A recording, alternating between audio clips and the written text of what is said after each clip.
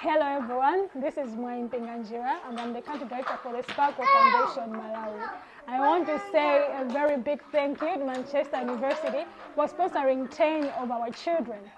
Kevin here is a young boy who joined Sparkle Foundation when he was three years old. He has special needs and it was very difficult for the family to provide him the proper uh, care that he needed.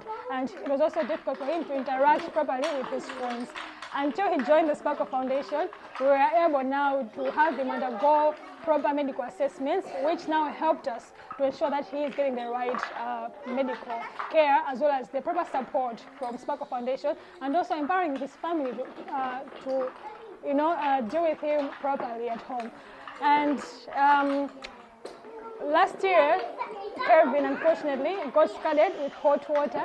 It was really uh, a very big accident, and we had to take him to the hospital at 10 p.m. in the night for him to get the proper medical attention. Now he's all healed and well, and all this is possible for the support that you are giving us. And we hope that you are going to, at some point, visit Malawi so that you can see uh, the lives that you are changing. And we also hope that you're going to continue to spread the news of the work that we are doing here so that others can also help.